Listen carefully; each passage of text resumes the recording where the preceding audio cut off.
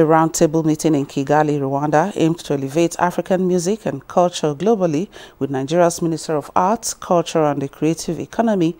Barrister Hannatu Musa Musawa, emphasizing the continent's potential to dominate the music industry. The steering committee discussed key issues affecting the African music industry, including intellectual property rights, piracy and funding, and committed to supporting economic policies for creative industries and promoting a cohesive Pan-African vision.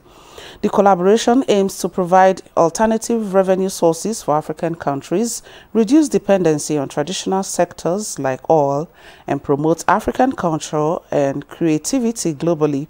with Nigeria's music industry already enjoying global success. The partnership will also facilitate artistic mobility, access to global opportunities, educational resources and training, ensuring African creators share their talents on the world stage and promoting African music and cultural excellence globally.